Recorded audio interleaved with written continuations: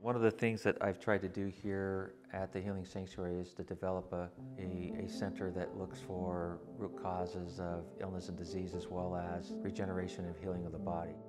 To really help people heal and to get them better, we have to look at their toxins and we have to look at a way to get their toxins out.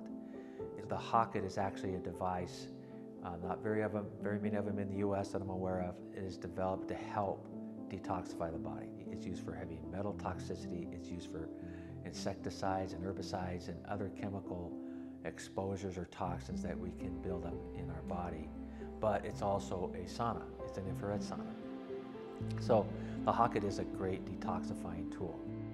My whole goal is that we help people regenerate their bodies and keep it young and healthy. It's, it's about getting the body cleansed and keeping it that way.